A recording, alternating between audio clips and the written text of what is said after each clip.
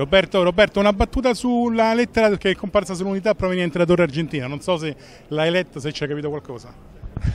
no, l'ho letta, è chiaramente una lettera nel quale si manifesta un dibattito che è all'interno dei radicali, eh, ci sono compagni che hanno fatto una scelta, quella di presentare delle liste, altri che non pensano che quella sia giusta ma, ma che mi appoggiano.